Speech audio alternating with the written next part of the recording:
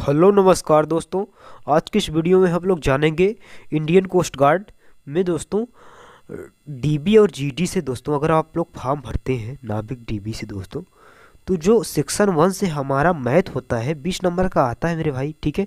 तो बीस नंबर का मैथ कहाँ से क्वेश्चन ज़्यादा आता है दोस्तों? ठीक है? क्या पढ़ना है, क्या नहीं पढ़ना है, आज की इस वीडियो में हम लोग यही डिस्कस करेंगे। तो चलिए फिर वीडियो को स्टार्ट करते हैं बिना किसी देरी के, ठीक है? दोस्तों तो देखिए दोस्तों सेक्शन वन में बीस नंबर का आपका मैथ आएगा, ठीक है? लेकिन कुछ ऐसे इंपॉर्टेंट टॉपिक है जहाँ से क्वेश्चन बार बार एग्ज़ाम हाल में आते हैं।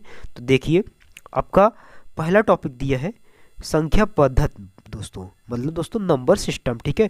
यहाँ से क्वेश्चन आपको देखने को मिल जाएगा, ठीक है? आपको इस इस टॉपिक को पढ़ना ही पढ़ना है, ठीक है? एक क्वेश्चन आपको देखने को मिलेगा, ठीक है? दोस्तों, अगर हम दोस्तों सरलीकरण की बात कर लें दोस्तों तो यहाँ से भी क्वेश्चन आएगा, ठीक है? एक क्वेश्चन आपको देखने को मिल जाएगा सरलीकरण से। और दशमलव और फिक्स फ्रिक्शन मतलब दशमलव और भिन्न को दोस्तों आपको पढ़ना ही पढ़ना है सिंपल टॉपिक है, ठीक है?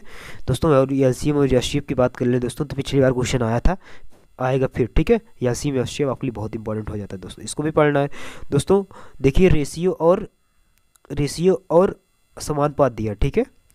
अनुपात और समानुपात से क्वेश्चन आपको देखने को मिल जाएगा, ठीक है? रिसीवर प्रोफेशनल से आपको क्वेश्चन देखने को मिलेगा दोस्तों ठीक है?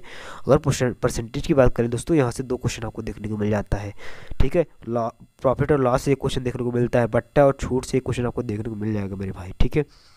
तो संख्या पद्धत सरलीकरण, दशमलव भिन्न L C M S C percentage ratio proportional लाभ, हान, आपको पढ़ना ही पढ़ना है मेरे भाई, ठीक है?